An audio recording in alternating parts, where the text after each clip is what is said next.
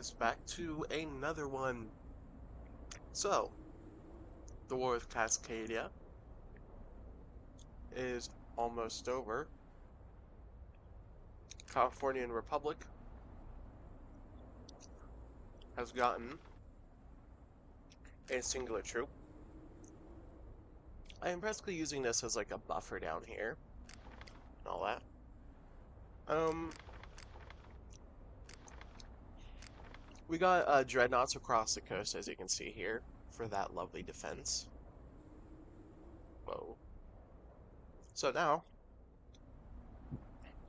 yay, we also got scout mechs made, at least one, which I'm going to transport over to the front line over here. Uh, let's, let's bring it up to this place. We also should have, yep, we captured that small city. We can now move a dreadnought here to protect that nice little port. We have a lot of ships now, and I'm very proud of it.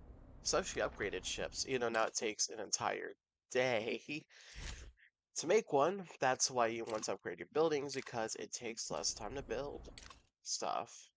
Uh, is it a power plant? Yeah, it's the power plant you want to build. It makes units get built faster. And see here we got scout mech, pilots captured, stuff researched, all of that. Um, I'm going to try to get a scout mech lineup, and hopefully that will be good enough for us. Since thankfully we're now living in a time of mostly peace, as the remaining territories of Cascadia that was captured from my former ally are going to now be uh, gained now. I'm to try to take all this now. Whoops, I did not mean to do multiple. I just want to do only this one guy. So when's the next day? Um, 21 hours. So next day came recently, thankfully. So that way I can just push all this and then take Sacramento and maybe make that my final capture.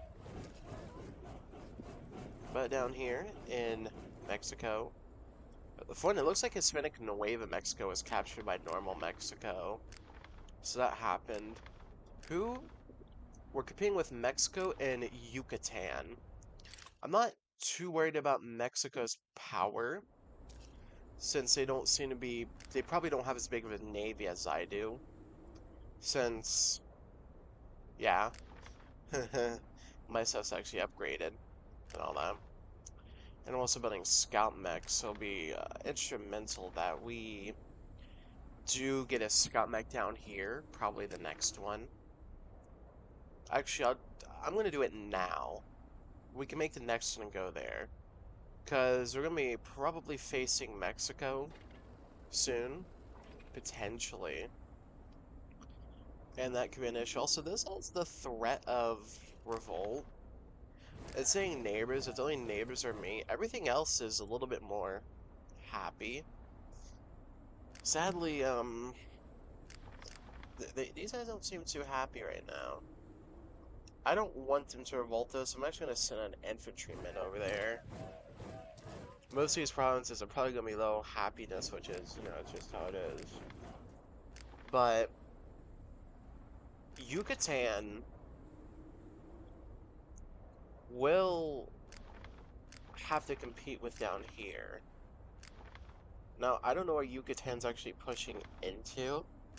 Next up could be Republic of the Rio Grande. Grand. You can see here we have some places. So like looks like they're actually doing a dual push. Our ally over here looks like he's basically fighting on every front and all that. All that. Um, our next move could be to do what our ally did and get some Marines up for scouting. But for now, we'll stick with what we got. If things get bad, I can just move a Dreadnought right here and basically cut off this entire line of attack. Give or take. But is there enough for both of us to win? Probably. I'm surprised they didn't push southwards into South America. or push to the right towards Texas. Because this right here is like basically a big undefended area. So we can see that Alberta Union's been abandoned.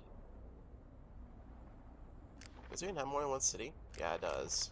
Alberta Union's been abandoned.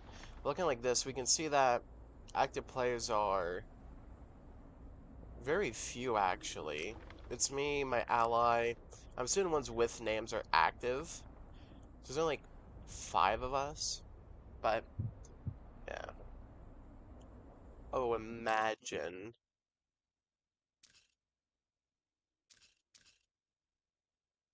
I could do this. It's tempting, but I'm not going to right now. Um, but my plan, my plan, I guess prepare for a war against the New Mexican Empire, I guess. Um, build more ships, get power plants up, get my industry up, all of that. That's basically it. So, well, our time here. I will catch you on the next one, Marco. Not much to really talk about, but see ya.